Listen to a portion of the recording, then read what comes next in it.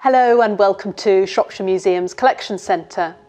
Today we're in the geology store taking a look at some of the 45,000 rocks, fossils and minerals that we have in the collection. The geology of Shropshire covers 11 out of 13 of the geological time periods, so is a wealth of information about Britain's geological past. Part of this story is a story of uh, extinctions and that's what we'll be looking at particular in this film using both the geology collection and some of our natural history specimens with Sue Rees Evans, a local ecologist.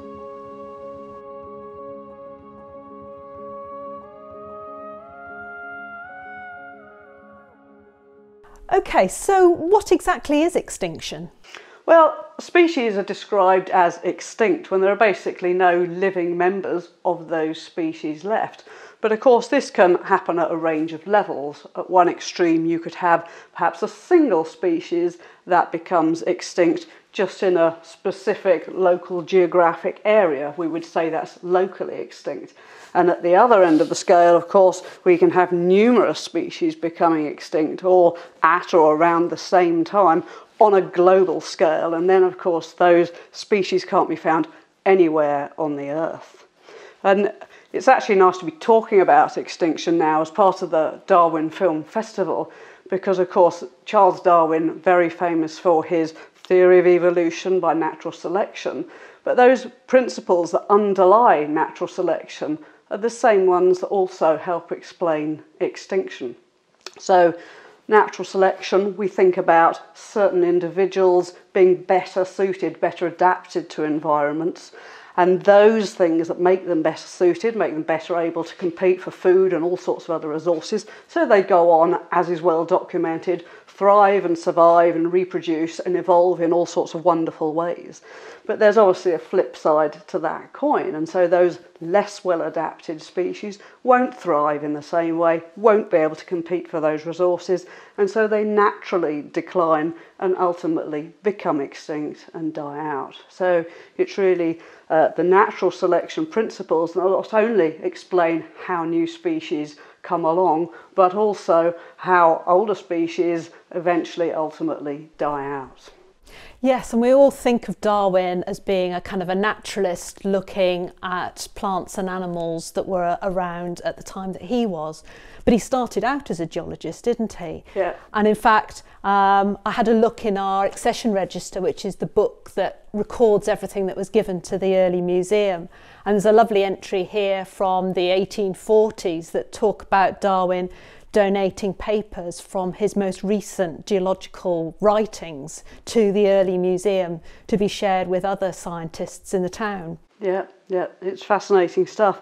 And of course, um, we're talking some time ago, Darwin's heyday, but uh, in recent times now, when we bring up subjects like certainly extinction, it has such a, a negative connotation, understandably, and is very much associated with the catastrophic impact our species has had on other species. But if we take a step back and look uh, back through geological time, as Darwin and many others did, we can see there's evidence that extinction has been around since life on Earth has been around. Indeed, always there present at some level. So you've mentioned that extinction happens on kind of different scales. Um, shall we start by looking at kind of mass extinctions and more catastrophic events? Yeah, so uh, mass extinction, it refers to a major catastrophic global event, which is a fairly sizable words in themselves. Um, and these events basically cause the huge levels of extinction of huge numbers of different species on a global scale. And when we talk about major events, we're really talking about things like meteorite impact with the Earth. We're talking perhaps about um, huge tectonic plate movements in the Earth's crust, which have associated huge levels of volcanic activity. Um, and as has been well documented, of course, huge amounts of volcanic activity lead ultimately with the dust and the gases to climate change and also alterations in the sea levels. So you're talking at this grand scale, really, of these uh, major events.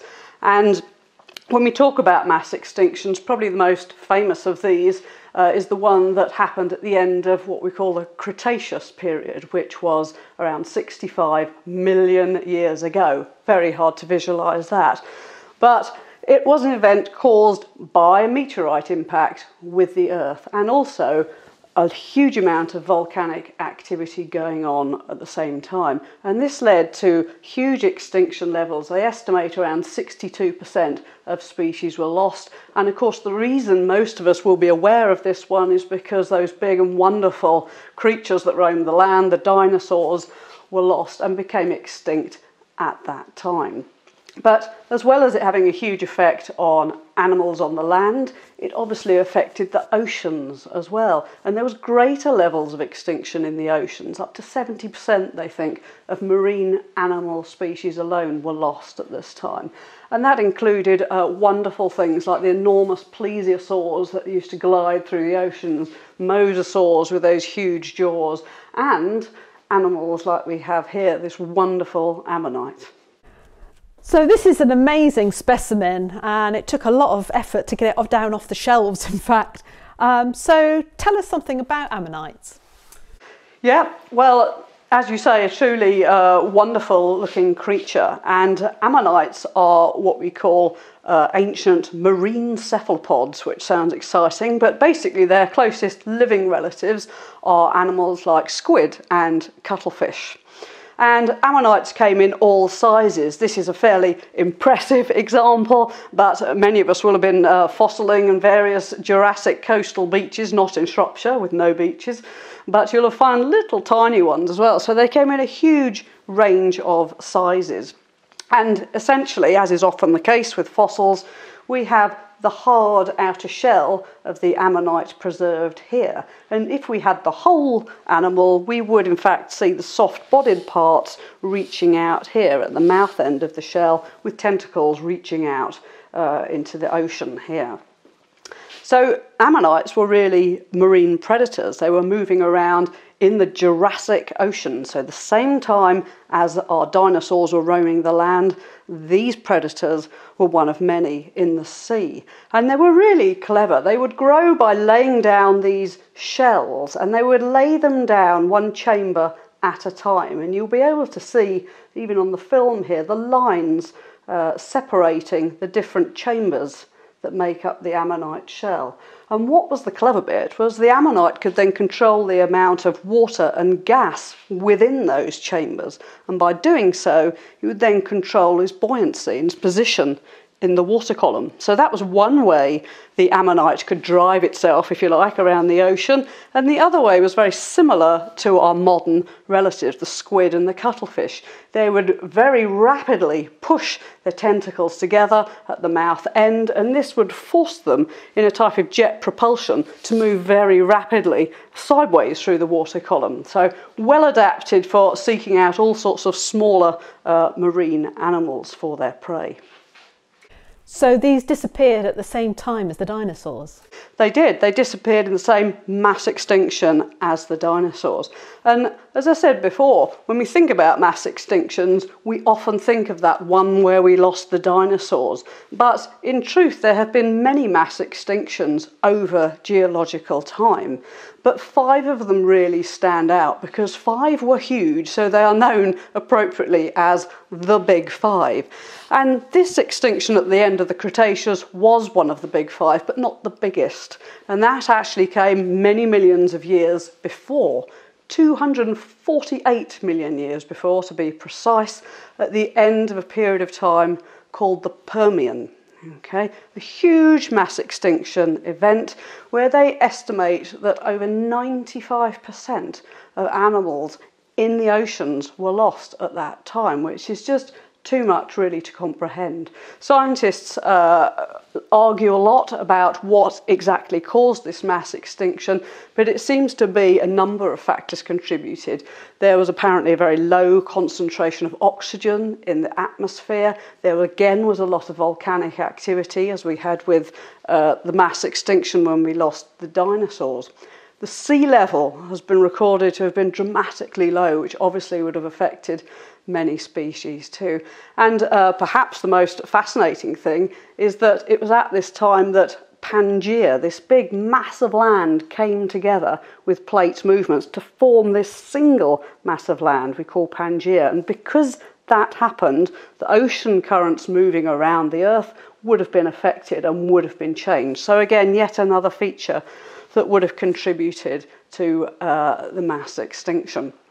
And many, many things were lost, understandably, in this. And one of the interesting things that were lost were animals like the trilobites we can see here. So we've got quite a nice collection of trilobites um, in the geology store here. Uh, can you tell us just exactly what a trilobite was? Well, trilobites were some of the earliest marine arthropods. So when we're talking about arthropods, we're talking about animals with uh, jointed appendages. And of course, we have many arthropods, the most dominant uh, landform on the planet nowadays, including insects uh, and, and many other uh, invertebrates.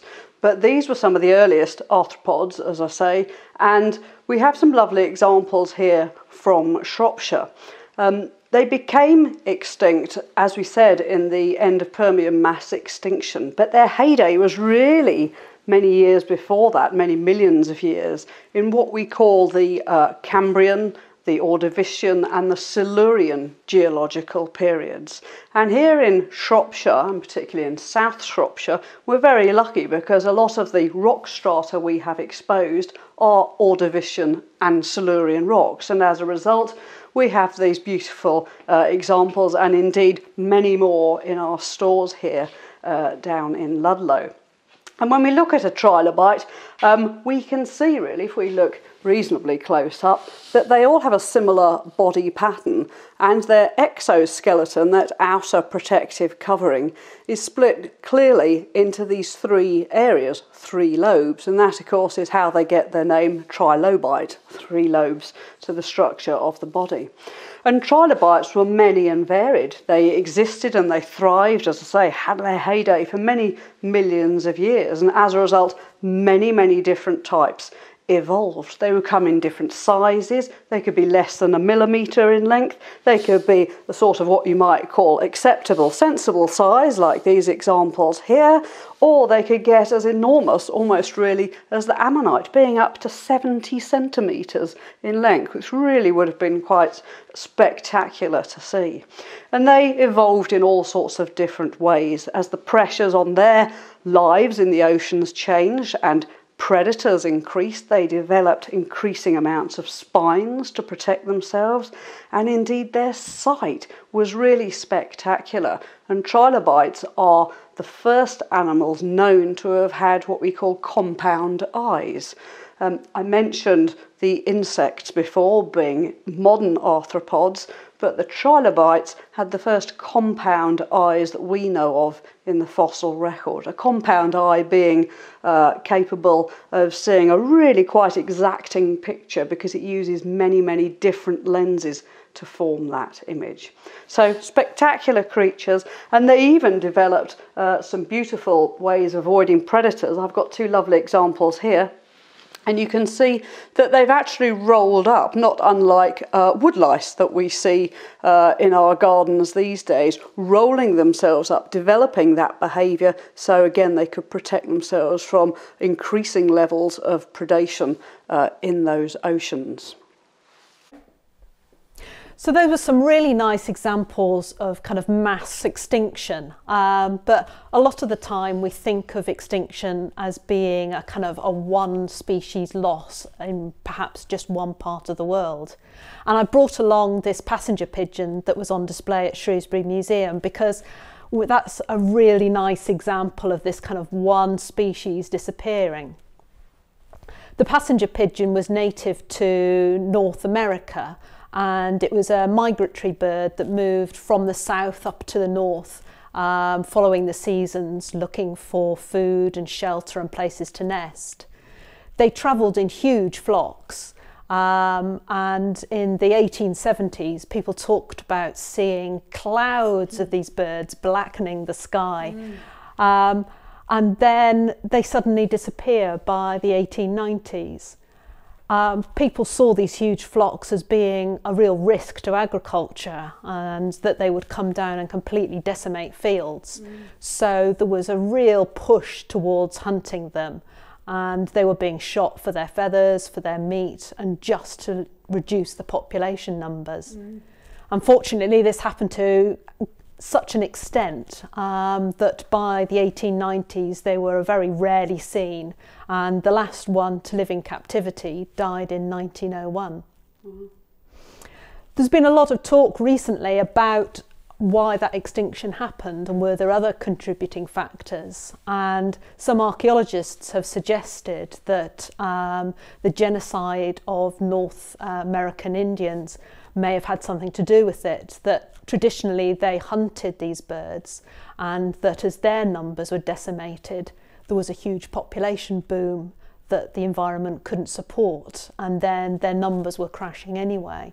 Um, but that shows how, for each of these species, they're so interwoven with the rest of their Absolutely. environment that as that changes, then their numbers will change as well.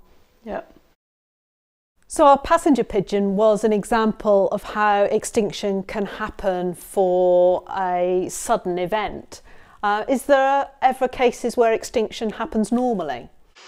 Well, as I said at the start of the film, uh, extinction has occurred at some level ever since the beginning of life on Earth. So there's always been a, a background rate, if you like, of extinction of species just as uh, we explained that Darwin's theories of uh, evolution through natural selection helped explain speciation, how new species arrived, they also explain why uh, species become less suitable for an environment and ultimately die out and become extinct. So, yes, there is a, a background natural turnover of species that will automa- automatically but will eventually become extinct.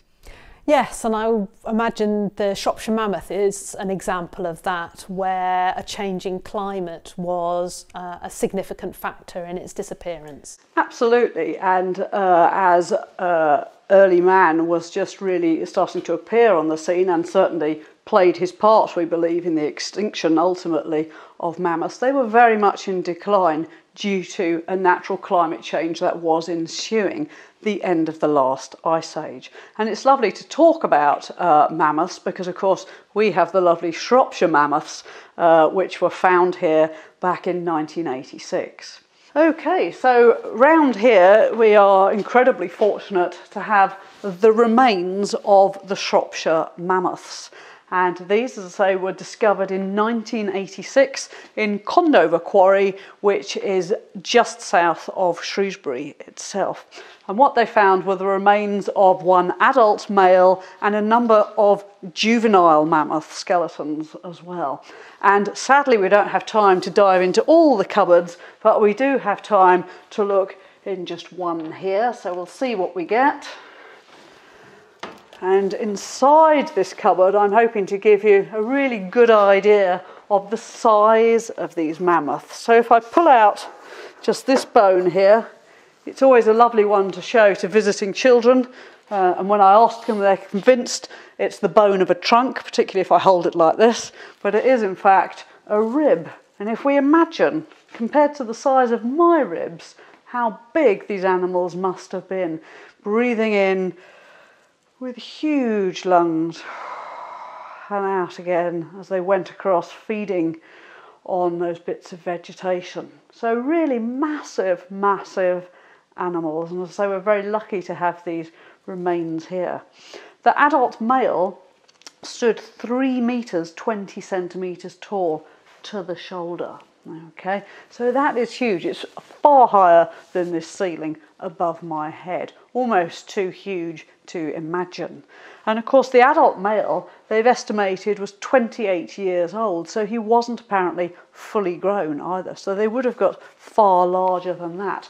And of course, been covered in wonderful uh, woolly hair as well.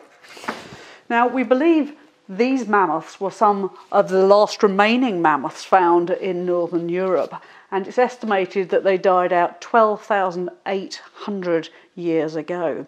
And with the research that's been done on these remains, we believe that they met their end in a kettle hole.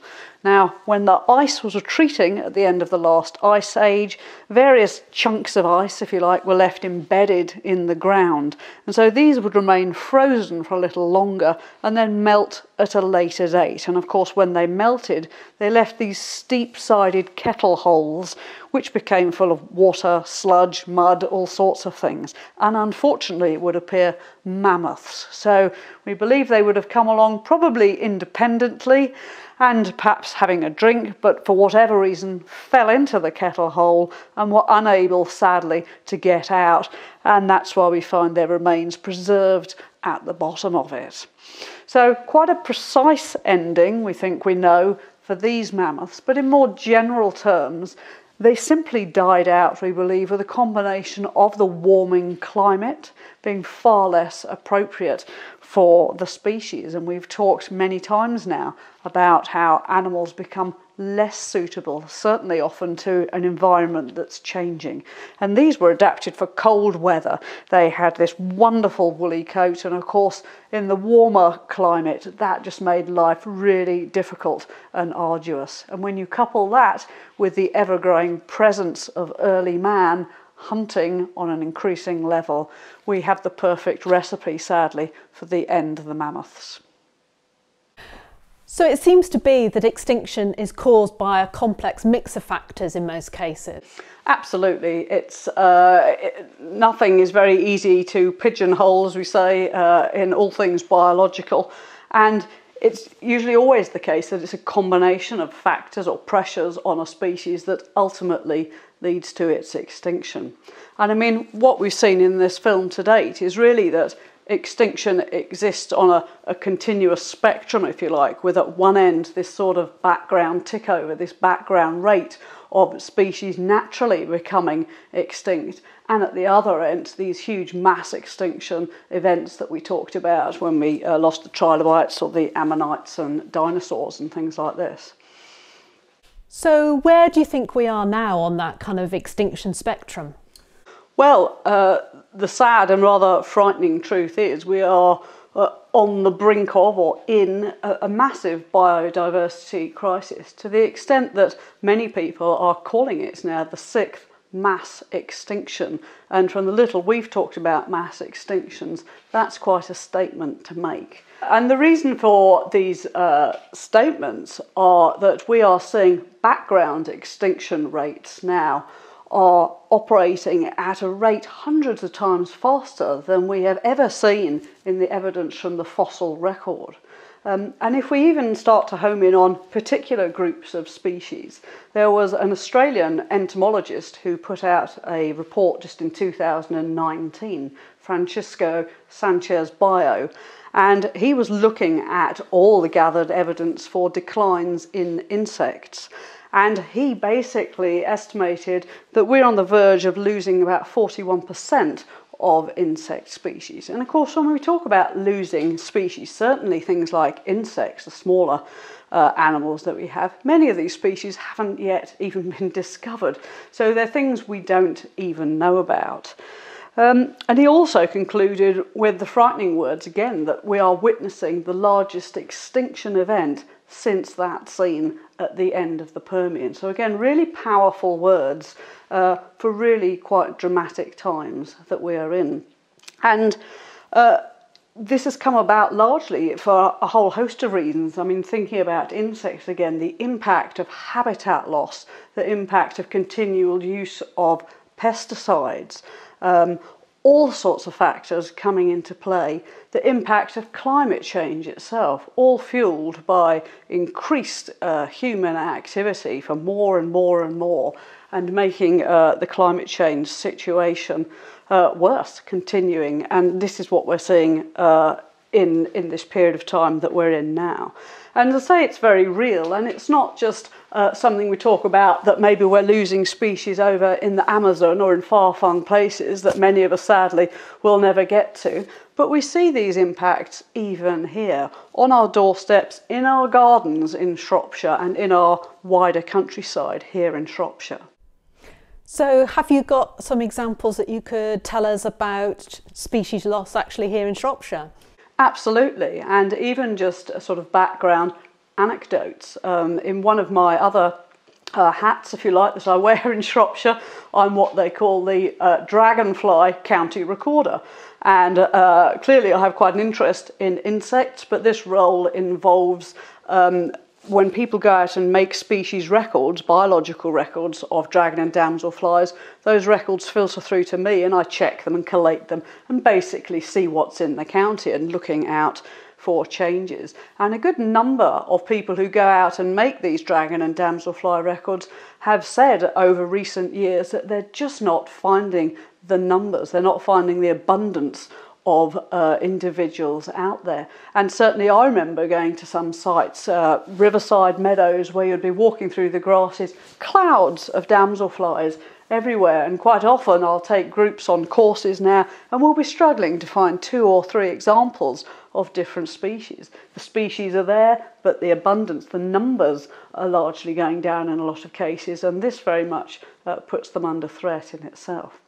But we've also got some uh, other species that sadly we have lost from uh, Shropshire, which are beautifully illustrated in some of these collections, uh, John Norton's collections of butterflies that we have here at the museum. And the one I'm going to start with is this beautiful blue butterfly here, the large blue. Okay, and this actually became extinct in the UK in 1979.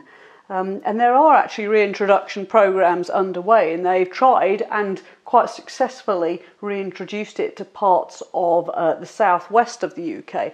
But it's not back in Shropshire, and there are historic records that it used to fly here. It's a fascinating insect. It has an incredibly uh, complex lifestyle in that the eggs hatch out into caterpillars, which of course we all know about, but these caterpillars are then taken down underground into the nests of red ants, and only a particular type of red ant. And then down in that nest, they're not attacked, they're nurtured, if you like, and then they pupate, and then the adult will come out and emerge successfully uh, from the ant nest to start life in the adult form. But when they found that this species was dying out, they also found that the red ant that is involved in this strange life cycle was also missing. And it's become really quite a complex process to uh, create suitable habitat, not only to get the butterfly back, but to get this particular red ant back so the butterfly can complete its life cycle. And it all comes down to essentially sward length, the length of vegetation, and how much that warms the ground underneath, because that has to be right for the ant to live there, and that has to live there for the butterfly to live there. So um, even though we're talking about local extinction, it's a really good example of how these species, both plant and animal, are also closely interwoven. And two other examples of species that used to fly uh, in Shropshire but don't any longer, and indeed don't in the UK, are this uh, lovely black veined white, if you can just see on the bottom this image here, really quite a showy, beautiful butterfly. Clearly, uh, obviously, got its common name there because of those very distinctive black veins on the white wings. And the last one, just to mention, it's another excuse to look at some lovely specimens, uh, are these large tortoiseshell butterflies. Again, now extinct. They were recorded in Shropshire, but not found locally, and indeed not found anywhere in the UK. Um, so, sad examples really of things that are no longer flying, but it does underline the importance, as we are here in the stores, of having specimens and biological records so we can see what used to actually be here because human beings are always in great danger of uh, accepting what we see now as the norm. Um, and even when we talk about uh, abundance of insects, I was talking about dragon uh, and damselflies earlier, but even if you don't know what species of insect you're dealing with, we will probably, certainly most of us here, remember driving through country lanes in summer and having huge numbers of insects, unfortunately, meeting their grisly end on the windscreens or the lights of cars to the extent that you had to clear them off. And I actually can't uh, remember doing that in recent times. So even if you know nothing about insects, we can see how much the abundance of these animals has decreased. There's one other uh, insect I'd like to share with you because I have a strong bias to dragon and damselflies, and that's just behind uh, you actually, Emma Kate, if you're happy to indicate the one in the top right hand corner. And this is a uh, local species called the white faced darter, a dragonfly species that we are still lucky enough to have here in Shropshire, but we've only got it in northern Shropshire on an area called Whixall Moss and that's because it's a habitat specialist. It likes uh, boggy pools full of sphagnum. Um, and this is a species that used to be at other sites, certainly in England, but in the last 50 years it has been lost from 50% of those sites. So this is very much a local speciality. Um, the closest area to us that also has this species is Chartley Moss in Staffordshire, and then there's two sites where they've reintroduced it, I think currently in the Lake District, but really the only remaining stronghold after that is up in northwest Scotland. And this species has declined for a host of reasons, not least uh, drainage of its habitat and turning that into agricultural land, but also because of climate change.